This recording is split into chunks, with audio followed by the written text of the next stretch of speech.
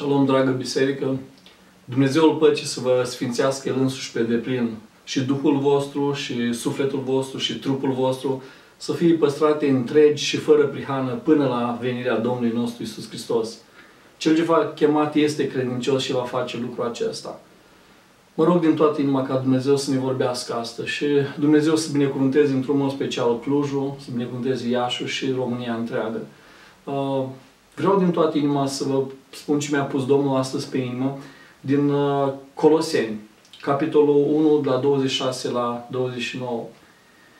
Vreau să zic, uh, taina ținută ascunsă din veșnicii și toate veacurile, dar descoperit acum sfinților Lui, cărora Dumnezeu a voit să le facă cunoscut care este bogăția slavei taine acesteia între neamuri și anume Hristos în voi, nădejdea slavei.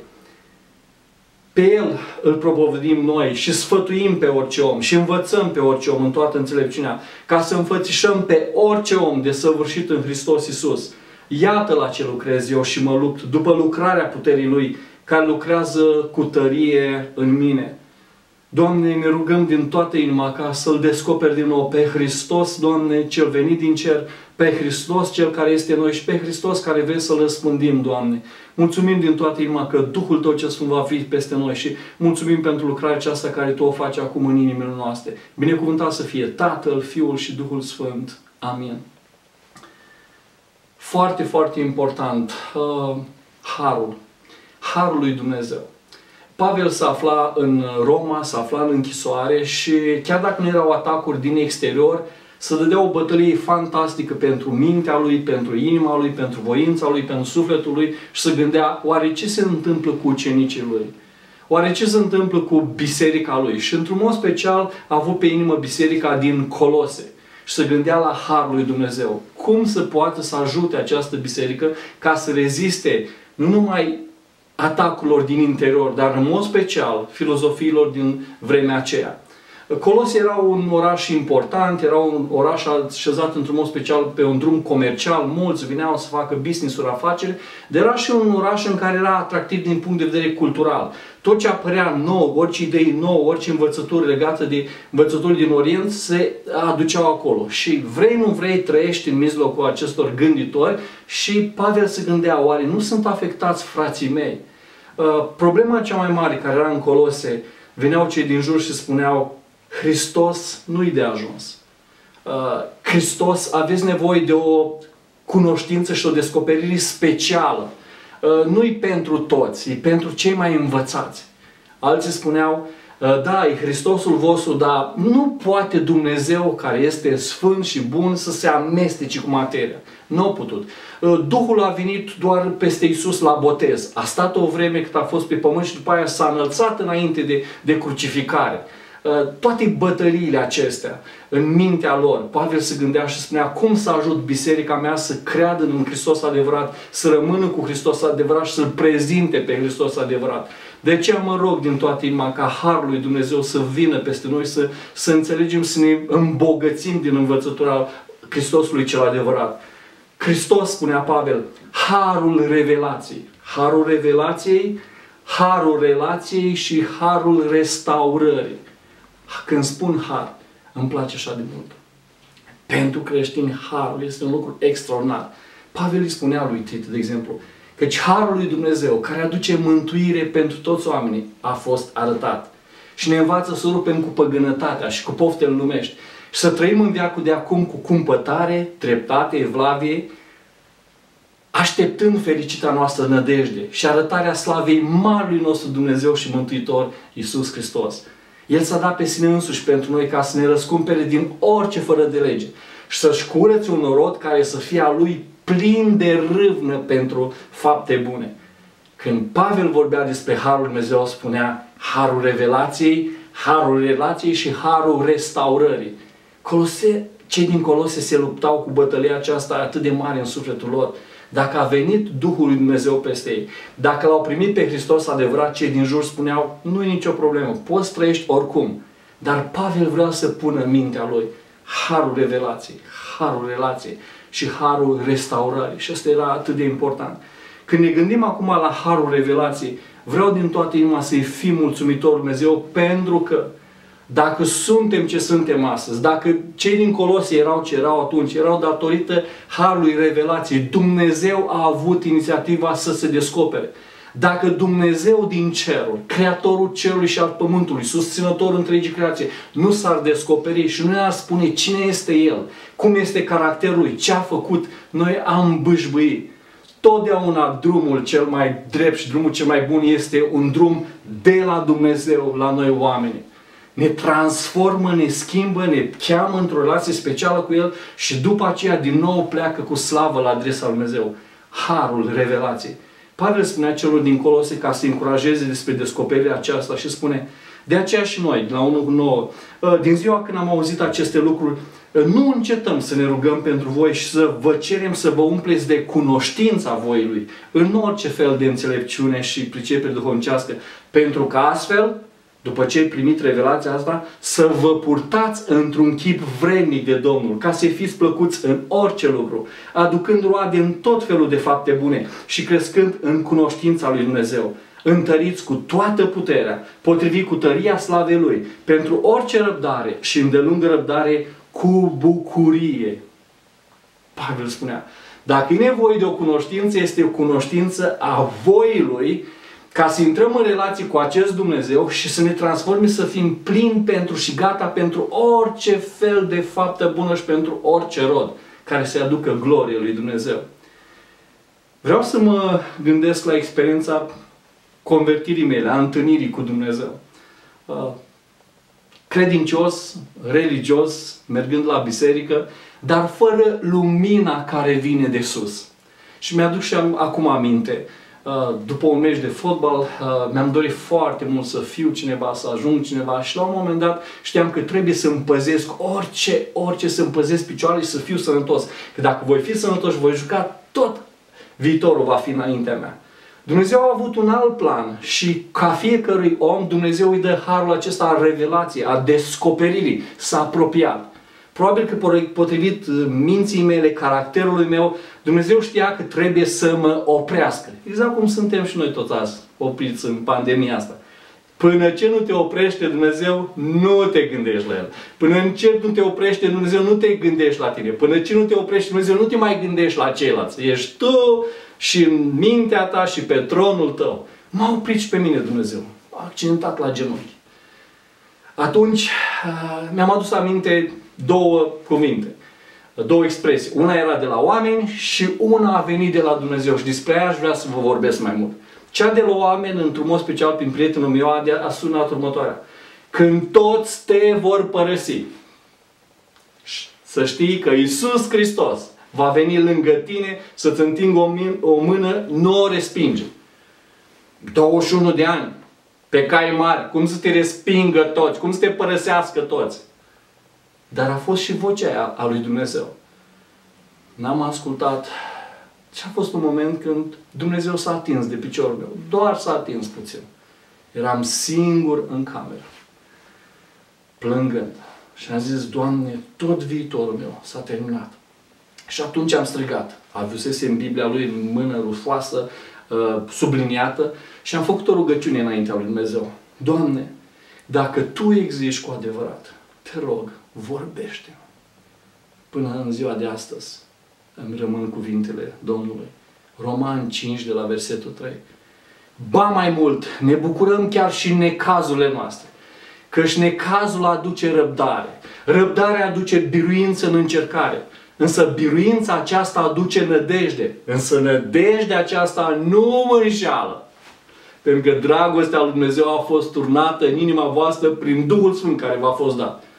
Pe când erați voi încă păcătoși, Hristos la vremea potrivită a murit pentru cei nelegiți. Doamne, Doamne, ce mulțumesc lui Dumnezeu pentru lumina asta a revelației. M-am văzut dintr-o dată, Duhul lui Dumnezeu a venit peste mine și m-am văzut în lumina Lui. M-am văzut în lumina Lui și când ești în lumina Celui Sfânt te vezi păcătos și te vezi disperat. Dar nu înțelegeam cum, Doamne, după necază vine răbdare, după răbdare biruință, însă nădejdea aceasta nu înșeală.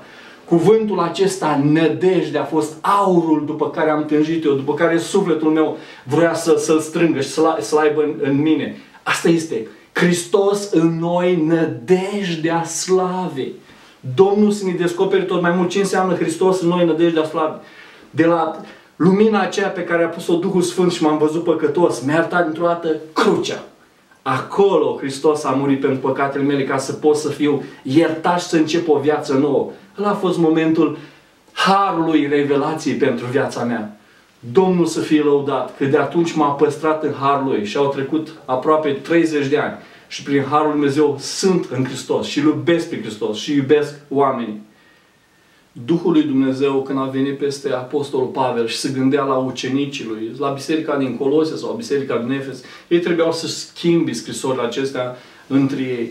Uh, i-a pus pe inimă să facă rugăciunea asta când i-a văzut pe ei. Și a zis și mă rog, ca Dumnezeul Domnului nostru Isus Hristos, Tatăl Slavei, să vă dea un duh de înțelepciune și descoperire în cunoașterea Lui și să vă lumineze ochii inimii, ca să pricepeți care este nădejdea chemării Lui, care este bogăția slavei moștenirii Lui în Sfinț și care este față de noi credincioși și nemărginita mărime a puterii sare, după lucrarea puterii tării Lui pe care a desfărat-o în Hristos prin faptul că l-a înviat din morți și l-a pus așa de la dreapta sa în locurile cerești, mai presus de orice domnie, de orice stăpânire, de orice putere, de orice trăgăturie și de orice nume care poate să fie numit, nu numai în veacul acesta și în cel viitor.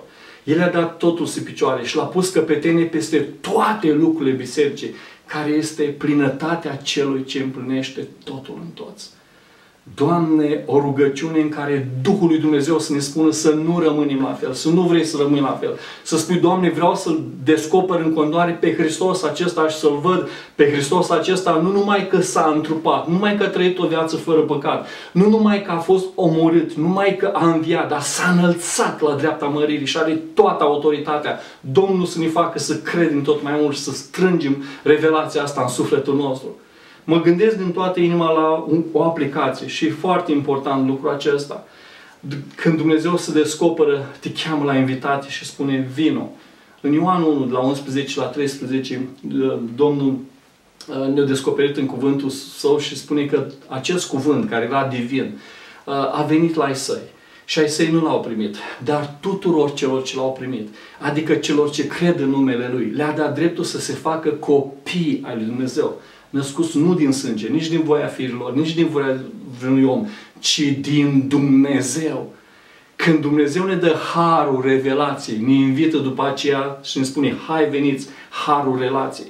Dar vreau să ne gândim la o aplicație.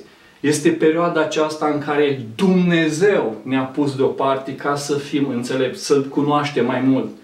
Citește și roagă-te mai mult ca niciodată în familie. Așa de mult mi-a plăcut îndemnul acesta a Duhului. Uh, nu să citesc pentru alții, ci să citesc pentru mine. Să citesc de la prima pagină până la ultima pagină a Scripturii. Dar nu să o citesc, să o citesc cu gândul acesta, Doamne, Duhul Tău ce Sfânt, descoperă Tu cum ești ca Dumnezeu. Vreau să te văd pe tine, vreau să văd caracterul tău, vreau să văd puterea ta, vreau să văd lucrarea ta. Descoperă și caută-L pe Dumnezeu, caută-L pe Hristos. Vă aduceți aminte, Domnul Iisus după învierea Lui și-a luat ucenicii care mergeau pe drumul Emausul și a luat Scriptura când erau atunci strânși, fricoși, nu știau și au zis, le-a descoperit din toată Scriptura tot ce este scris despre El. Domnul să ne ajute să citim Scriptura, să-L descoperim pe Hristos pe paginile Lui. Dar mai mult, încurajează soția să citească, încurajează soțul să citească, încurajează copiii, încurajează întreaga familie să citească și roagă-te. Și roagă-te într-un mod special. Doamne, descopere mai mult cine este Hristos pentru noi, pentru casa noastră și pentru biserica în care ne-ai pus Tu. Domnul să ne ajute la lucrul acesta. În uh, capitolul 4, versetul 15 și 16, ce frumos spune Pavel. Salutări bisericii în Laodicea, salutări celor din Colose, dar este o expresie extraordinară. Salutări și lui Nimfa, biserici din casa lui. Bisericii din casa lui.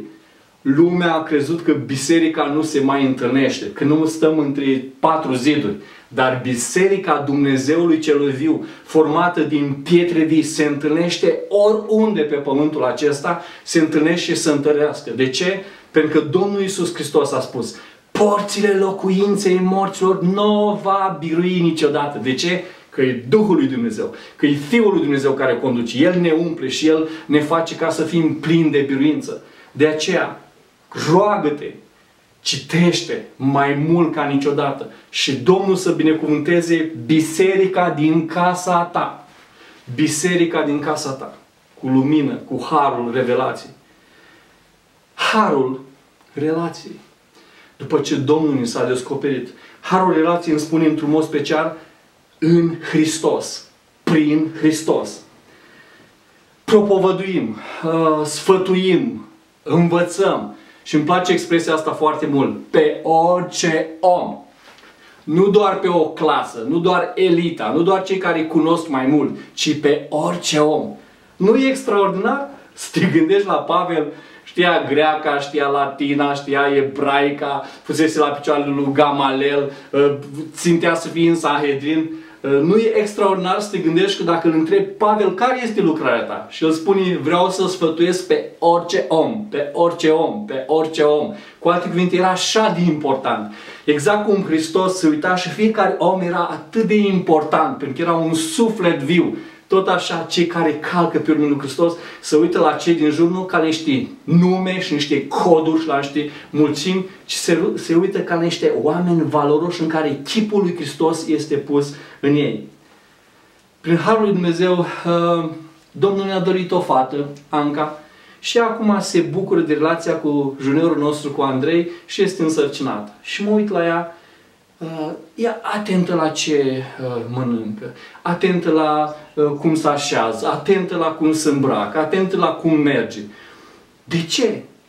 Pentru că este purtătoare de viață. Pentru care o minune se întâmplă în ea și este foarte atent. Dar mă uit la Andrei. N-am putut să pun șaua pe el. E un armăsar care e greu îl pui. Dar Dumnezeu are metoda lui. Și când îl văd cum îi vorbește, și când îl văd cum o tratează, și când văd cum face mâncare sau spală orice altceva, spun, wow, Dumnezeu are o metodă de a șlefui într-un mod extraordinar. Și am zis, Domnul să-i binecuvânteze cu mai mulți copii. Dacă lucrul ăsta e spre transformarea ei și transformarea lui, toată slava. De ce? Pentru că se vede Hristos în ei. Ei, la asta vreau Dumnezeu ca tu și cu mine să lucrăm într-un mod special. Pavel spune în Galateni, am fost răsnit împreună cu Hristos și trăiesc. Dar nu mai trăiesc eu, ci Hristos trăiește în mine. Și viața pe care o trăiesc acum în trup, o trăiesc în credința în Fiul Dumnezeu care m-a iubit și s-a dat pe sine însuși pentru mine. Care e Hristos? Hristos care ne-a iubit și s-a răstignit pentru noi. Foarte important, nu uita harul acesta a revelației care îți spune, acum trebuie să trăiască Hristos cel viu, să trăiască în tine. Mă gândeam lucru care mi l-a adus într-un mod special pauza aceasta și m-a ajutat într-un mod special și vreau să te încurajez și, pentru tine, și pe tine. Știi care e lucrarea lui Dumnezeu pentru tine și pentru cei din jur? Fugim din toată inima pe tot pământul. Și am uitat la ce lucrează Dumnezeu. Dumnezeu vrea să facă în tine și în mine chipul Fiului Său. Chipul lui Hristos. Pavel, când era în Galatea, se uita și spunea, oh, cineva vrăjit înaintea ochilor care a fost zugrăvit Iisus. El a vrut, a învățat despre Hristos, a trăit pentru Hristos, le-a arătat pe Hristos și la un moment dat oamenii și-au pierdut direcția. Și Pavel spune în Galateni 4 cu 19, spune așa de frumos, o, oh, Galateni, pentru care simt din nou durerile nașterii până când Hristos va lua chip în voi. Hristos să ia chip și în tine, Hristos să ia chip și în mine. Dar asta e lucrarea și cea mai importantă. Dacă Hristos nu ia chip în noi, dacă Hristos nu se maturizează, dacă Hristos nu crește, ce să vadă cei din jurul nostru? Domnul să ne ajute la lucrul acesta. Chipul lui Hristos, chipul lui Hristos. M-am trezit într-o dimineață, Doamne, la ce lucrez eu? Păi trebuie să mă duc acolo, trebuie să mă duc acolo. Și Domnul meu vorbește și mi-a zis, pune orice lucrare și pune tot ceea ce faci, pune orice relație sub titlul acesta, sub autoritatea aceasta, chipul lui Hristos. Dacă e ceva în care nu se amână cu Hristos, dacă e ceva care nu ia forma lui Hristos, atunci schimbă-te tu sau schimbă lucrarea aceasta.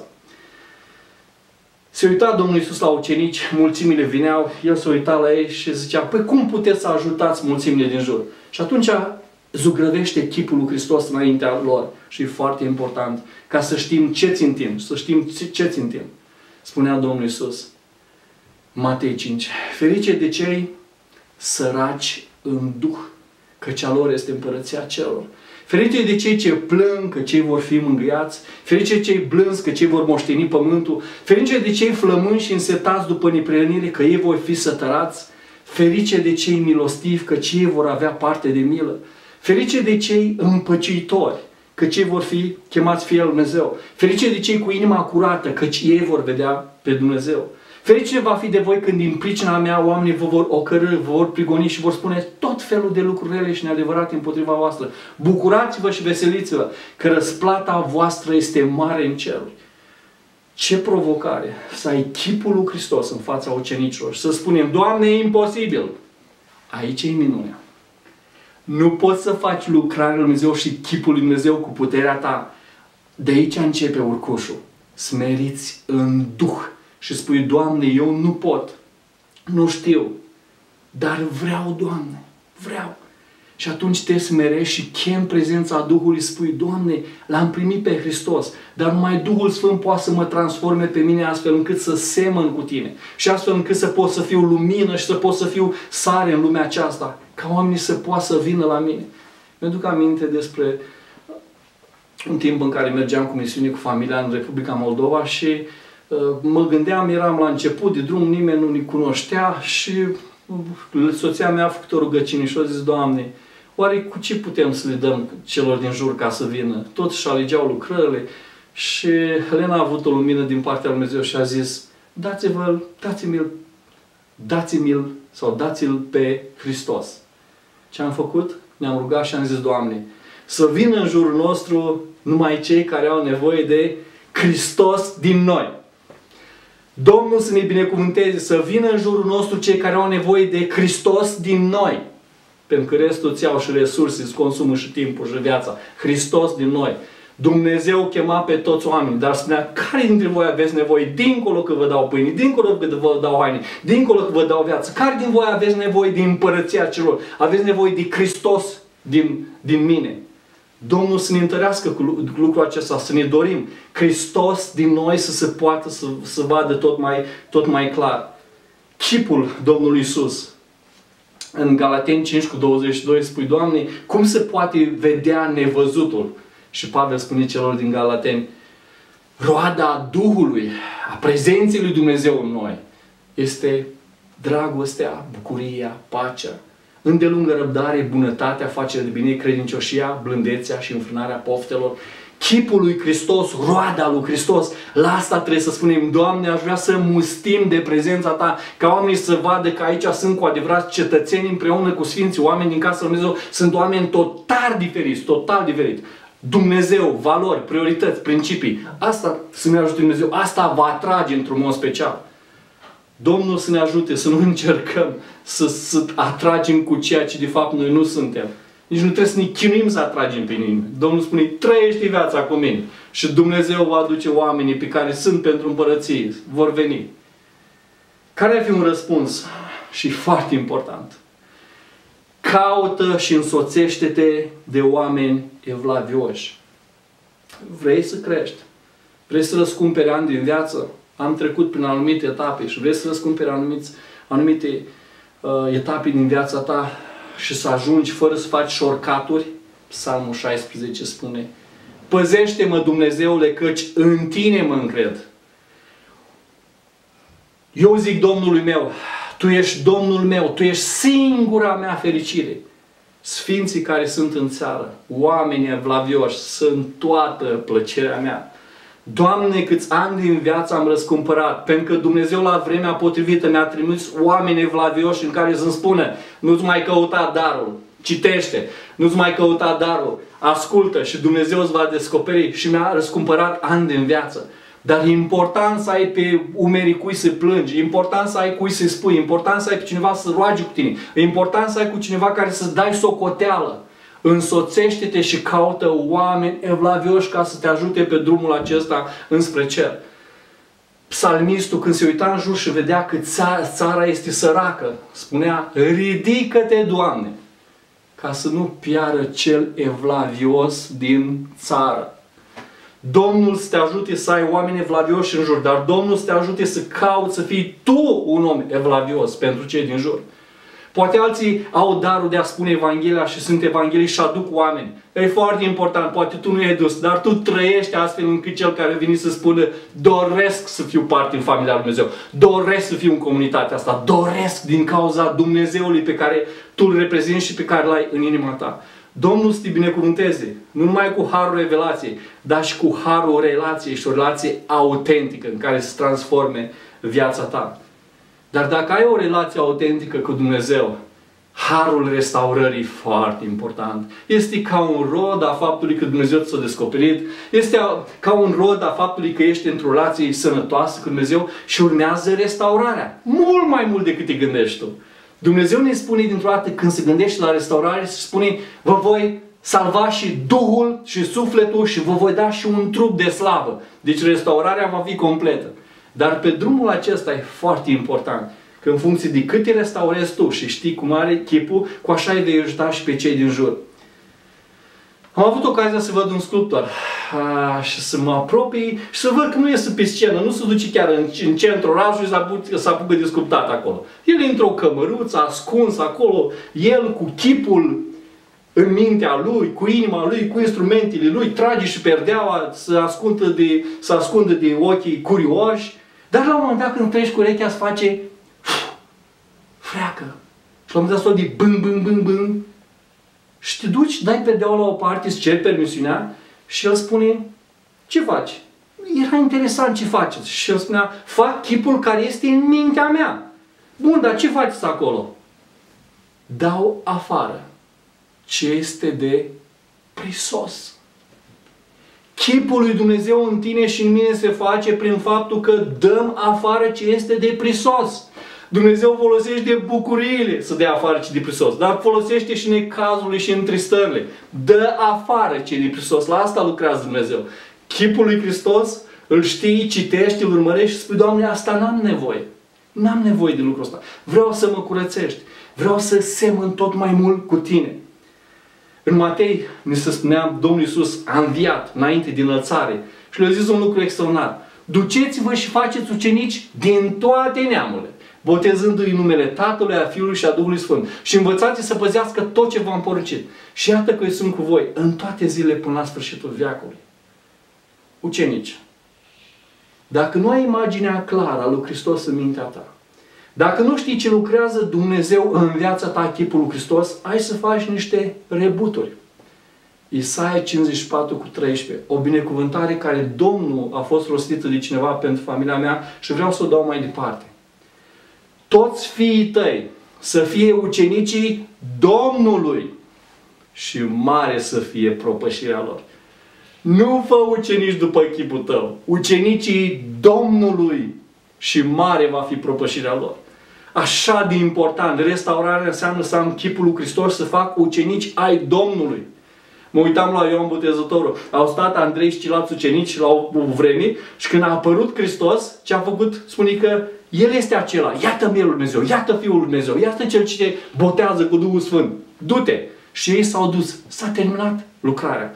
Să-L prezinți pe Hristos și oamenii să dorească să fie ca și Hristos.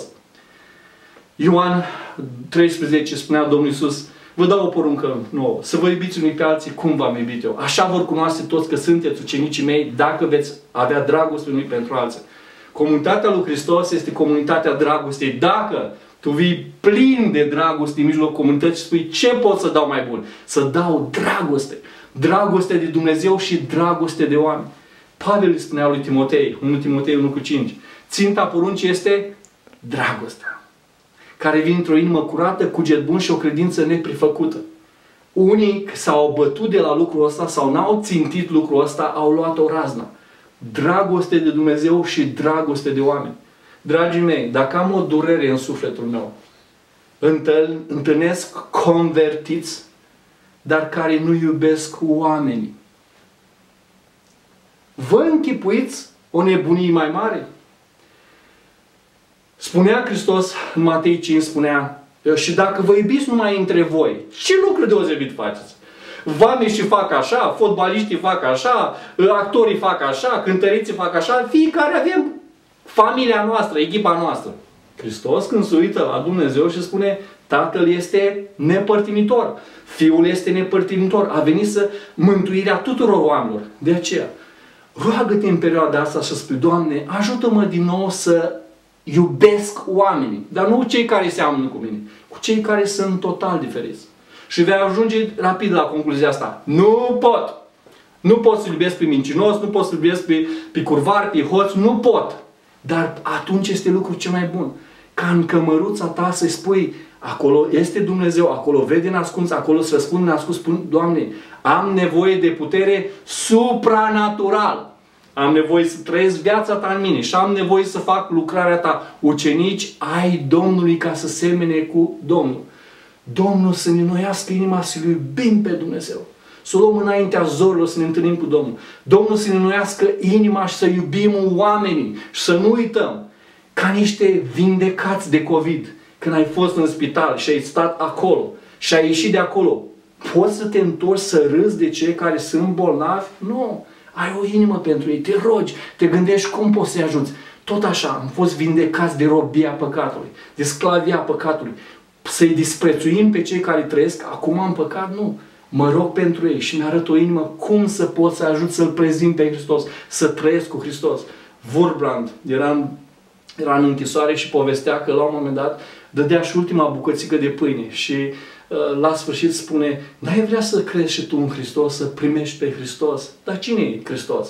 Dumnezeu meu. Dar cum arată? Ca și mine. Dacă arată ca și tine, vreau să-L urmez pe Dumnezeu tău și oamenii plecau salvați și mântuiți în veșnicie. Dragostea de Dumnezeu, dragostea de Dumnezeu, harul restaurării. Dumnezeu ne-a iubit mai întâi și după aia noi l-am, l-am iubit pe El. Dumnezeu și-a dat pe Fiul Său ca să moară pentru tine, ca tu să ai iertare de păcate și să ai viață veșnică. Când te gândești la viața veșnică, nu te gândi doar la eternitatea ei, ci gândește la viața celui veșnic care vine să locuiască în tine și să dea harul restaurării prin tine pentru alții. Să înfățișezi pe orice om desăvârșit în Hristos înaintea lui Hristos. Vreau să închei o chemare la ucenicie, ucenici al lui Hristos. Vreau să chem cu rugăciuni pentru soț, soție, pentru copii, să fie ucenicii Domnului, pentru comunitatea în care ești. Doamne, mulțumesc din toată inima că au fost momentele când uh, am scăpat de robia numerilor. Cât s-au întors prin tine? Ce ai făcut? Ce mulțime au fost? Și am înțeles într-un mod special că e foarte important calitatea ucenicii al lui Hristos. Domnul să-ți binecuvânteze familia cu descoperirea Harului Dumnezeu, harul revelației. Domnul să-ți binecuvânteze familia cu descoperirea Harului Dumnezeu, Harul relației. Domnul să-ți binecuvânteze familia cu descoperirea Harului Dumnezeu, Harul restaurării. Și Domnul să schimbi familia ta, biserica în care ești, orașul în care ești, România. Toată gloria să fie a Tatălui, a Fiului și a Duhului Sfânt. Amin.